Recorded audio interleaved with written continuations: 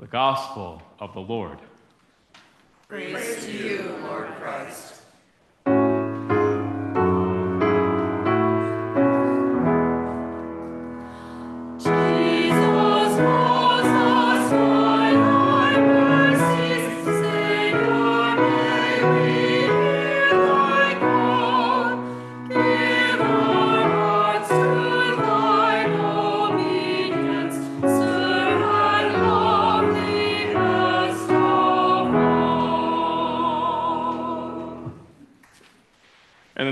Father, and the Son, and of the Holy Spirit, Mother of us all.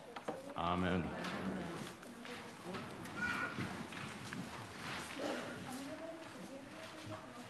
Today is the last Sunday of the church year, the last Sunday before Advent, which means today is also the feast of the reign of Christ, or known as the feast of Christ the King.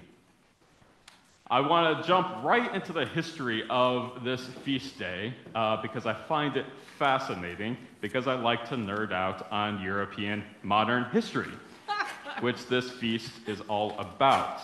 Christ the King, or the reign of Christ, feels like a feast that has been around forever. Surely it has always been the case that the church celebrated the last Sunday before Advent with something special, and why not Christ the King? But in fact, this feast was only founded in the year 1925 by Pope Pius XI in the Roman Catholic Church. And Pius wrote an encyclical uh, dis- or talking about his arguments for founding this feast and why he thought it was important uh, at his time. And the purpose for that he was very clear about.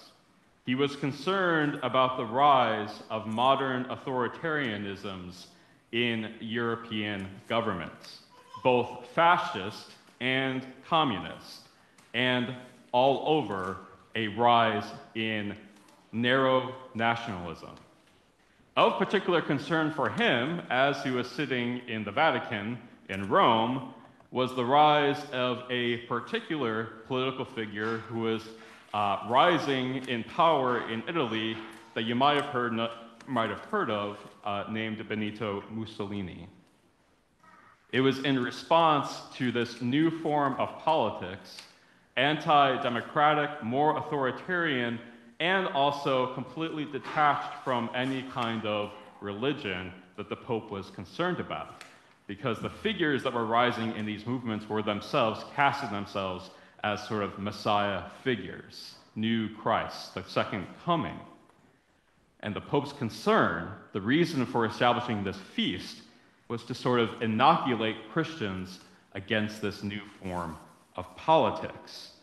Christians should not, of all people, fall for this kind of politics. Because there is only one king, only one Lord to which we owe absolute allegiance, and that is Jesus Christ. Because concern about this kind of politics was shared across all of Christianity, this feast was quickly adopted beyond the Roman Catholic Church, including among uh, Lutherans and Methodists, and we Anglicans slash Episcopalians. It's one of the reasons why I really find this feast important, because we continually need this inoculation against a politics that is about personality cults and about authoritarianism rather than the common good. But at the same time, I also want to acknowledge what Pius got wrong. Because Pius also failed to acknowledge the church's own role, the institutional church's own role, in creating the conditions of inequality and desperation that led to the political revolutions that ravaged Europe in the late 19th and early 20th centuries. Because the church, as we know, had a history of siding with the moneyed classes and the powerful classes against the poor and the marginalized. And the church sided itself with whoever would protect its own interests. Okay, thank you for letting me nerd out about that for a little bit. I could go on all day. One little bit of history left is that um, originally this feast was uh, scheduled for the end of October, uh, which is also when Protestants tend to celebrate Reformation Day, uh, Vatican II moved this feast to when we celebrate it now, on the last Sunday before Advent starts, which adds this rich apocalyptic character to, the, to today's feast as well. Not just about Christ as king, but Christ as king who will come again. We're going to come back to that apocalyptic stuff in a second. But this feast means, even if we really, really try to resist it, it means that today is inescapably a feast about politics and about government. And I want to acknowledge that there are very understandable and legitimate reasons when we get nervous and don't want to talk about politics in church. One, we want church to be a refuge.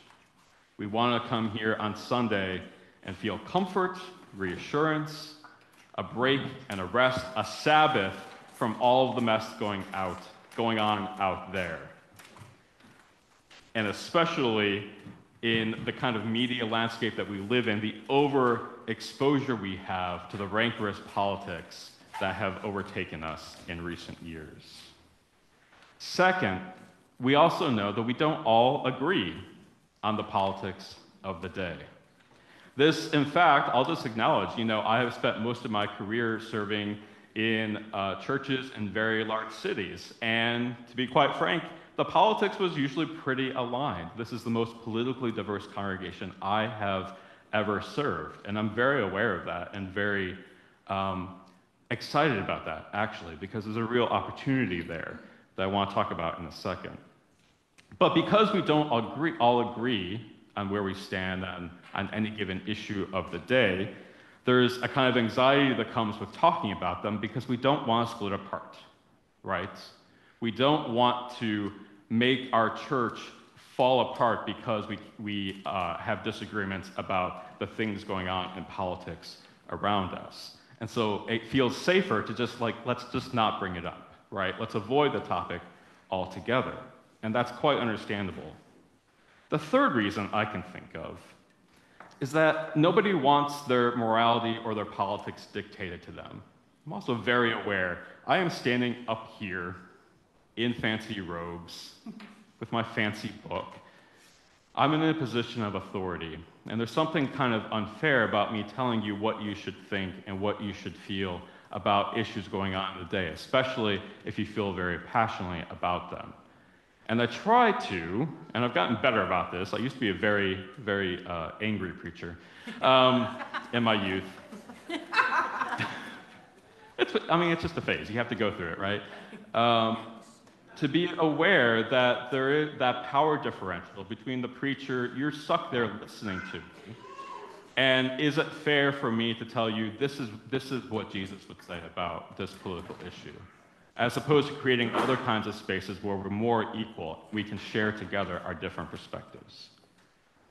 There are other reasons why we might get nervous or um, want to avoid talking about politics in church.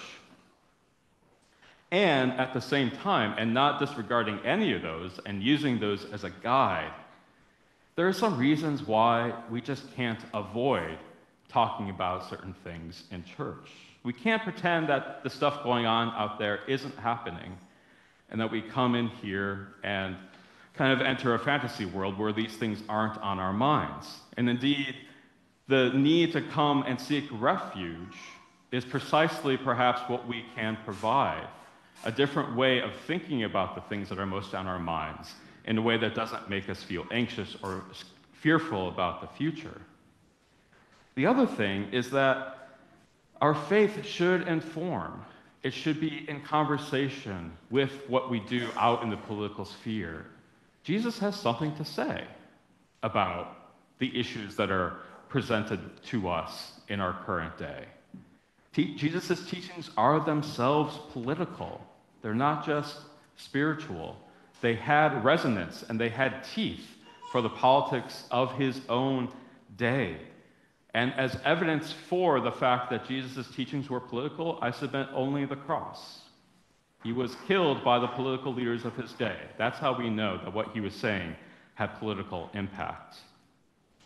But finally, and most importantly, why we can't avoid talking about politics in church is because we actually, here in this space, have so much common ground. We have so many values that we hold, to, hold in common. We have so much in terms of worldview that we hold in common because of our common faith. And if we can't have productive conversations in here, in this space, among one another, then I don't know what hope there is for everyone else out there. And that's why I say there's a real opportunity here. There's an opportunity to have conversations that are radically different from the conversations that happen among politicians, if you can call those conversations, out in social media, in the traditional media, and most importantly, at our Thanksgiving dinners. That was a joke.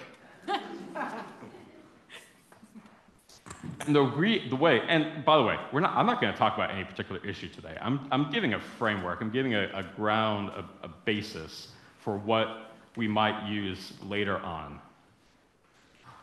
And that's, that's the idea I want to give to you today, is that we are able to have very different kinds of conversations about politics because we have the riches of our faith and the riches of our tradition to draw upon that other people, when they're talking about politics, don't have, that they can't use, that they can't bring to bear when they're engaged in a conversation and trying to understand each other's perspectives.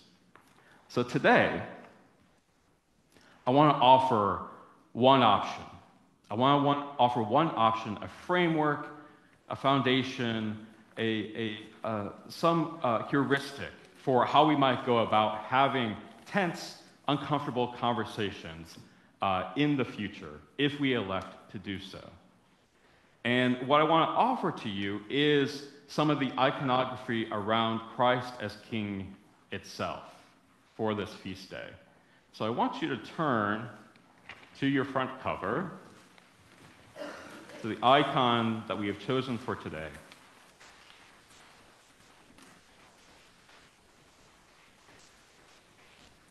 This icon is uh, referred to as Christ uh, Pantocrator, uh, Pantocrator perhaps, um, which is a Greek word, pan, krator, all, pan as in pandemic, and krator as in democracy, autocracy, krator. It is Christ, the ruler of all, is what this icon is depicting. And it's also my preferred title for this feast day um, if we were in a Greek speaking context. Um, it's a very old icon, 6th century at least, Byzantine, um, and it's housed at St. Catherine's Monastery in, uh, at Mount Sinai. Now, you'll notice this is supposed to be a depiction of Christ the King, Christ the ruler of all, but he does not have a crown, he does not have a scepter, he does not have any of the tradition or the uh, secular uh, political trappings of power. Instead, he has a very thick book, and he has a hand extended in a gesture of blessing. But here's the really remarkable thing about this icon. So try this. So hold up the icon, and if you uh, are online, make sure to scroll up, and you can do this on your screen. Use your right hand and cover one half of Jesus' face. Okay? And look at his features. His brow is soft, his eyes are wide, his mouth is gentle. His, this is a face of, of genteelness, of comfort, of um, softness. Now try the other side. Take your left hand and cover the left side of Jesus' face. And what do you see? I see uh, arched eyebrow, like Mr. Spock. His eyes are fiery. His mouth is frowning. His features are sharp. This is a harder depiction of Christ. He is two faced. In fact, if you Google uh, this image, Christ Pantocrator, uh, later on, people have actually put this into Photoshop and doubled the other side so you can actually see these are two very different faces on Jesus. And there's been lots of interpretations about why this icon is the way it is. What is with these two different faces? Uh, and one of the traditional uh, interpretations is that the left side is the human side and the right side is his divine side, the two natures of Christ, human and divine. Uh, others have interpreted it as Christ the merciful on the left and Christ the judge, the judge on the right. I want to offer a different interpretation that the left signifies Christ as Alpha and the right as Christ Omega. In the book of Revelation, Christ, when he comes in glory, says, I am Alpha and Omega, the beginning and the end. Jesus, as ruler of all, this is how he identifies himself as the beginning and the end, the Alpha and the Omega. So go ahead, and put your right hand over the right side of Jesus' face again and look at that gentle side. I want to offer Jesus as Alpha in this way, what this means might mean for us. Jesus as the foundation of all politics. At that beginning, Christ, through Christ, all things were made. Acknowledging Christ as Omega means acknowledging and remembering and upholding the created goodness of all persons. Of all persons. Absolutely every person. We are called to remember that every person is made in the image of God and bears the image of God. Whether they are our fiercest opponent in a debate, whether they are the subject of new policies, whatever conversations we have in politics, whatever policies we adopt, whatever candidates we support, we have to start from this assumption as followers of Christ, the created goodness of all persons, and to withdraw from any politics that becomes about denying the humanity of any person or any people. And it's not just about faking warm feelings for other people when we do this. It's about trusting in God as creator, trusting in God that that image of God is borne by us, and that by Jesus, every living thing was created in love. That is our ultimate common ground from which every other conversation needs to start and can be uh, built upon. Now switch over. Switch your hand to the other side. Christ as Omega, the end, the goal of all politics. And the goal of all politics is given by Jesus in today's gospel itself. Jesus is a demanding and exacting judge. The book that he holds on that side of his body is actually a book of gospels. That is the law by which we are to be judged at the end. And Jesus does take sides. We heard it. He would, was not flinching. Jesus takes the side of the hungry, the thirsty, the stranger, the naked, the sick, and the prisoner, the powerless, the hopeless, the outcast, and the marginalized. Jesus says, Whatever you do or don't do to the least of these, you do to me. His question to us at the end is Were you on their side too? Is that what you were working toward? That is the law in the kingdom of God and in the reign of Christ. And so the question for us is not whether or not to be on their side too. The most important question is what are the best things we ought to do to be on their side? Okay. Now take your hands off and look at the whole face once more. I am Alpha and Omega, the beginning and the end. The tough thing, friends, the really tough thing is holding these together and living in between them. We are not at the beginning, we are not at the end. And yet, Jesus has tasked us, empowered us to find the ways of connecting those two things together. And we have so much freedom, so much freedom to figure out what to do about that. So much freedom to figure out the best ways of living so that we both acknowledge the created goodness of all persons and we work towards that goal of siding with those who are most oppressed and disempowered. And if we can get clear on those basic assumptions, the basic assumptions about the value of each and every human life, and on what God's purpose is for us in siding with the least among us, then we can have political conversations actually worth having, that actually move us towards something, that actually allow us to come together in shared work. Because we're not having those conversations in order to win, in order to win the debate and to vanquish our opponents. We are having those conversations in order to do God's work.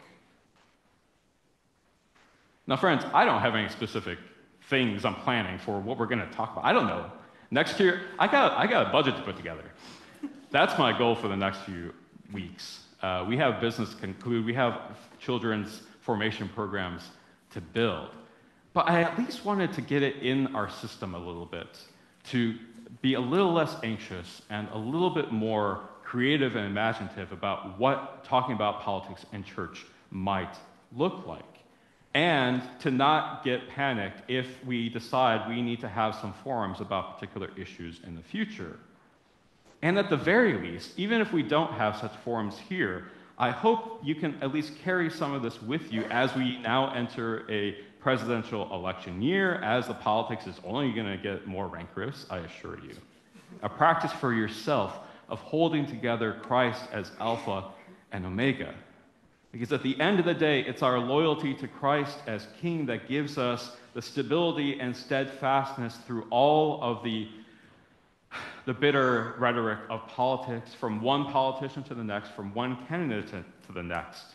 We must always press onward and walk forward to that country that Christ is preparing for us. That country where there is no more sorrow or weeping, there are no more sick, or suffering, naked or imprisoned, but only a kingdom of God's blessing and abundance and life eternal. Amen. Amen.